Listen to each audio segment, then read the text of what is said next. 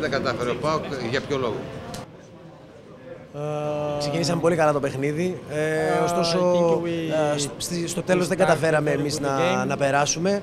Ε, αυτό που κρατάμε αυτό το καλοκαίρι είναι το γεγονός ότι έχουμε περάσει ε, μεγάλους αντιπάλους όπως η Βασιλεία και η Σπαρτάκ.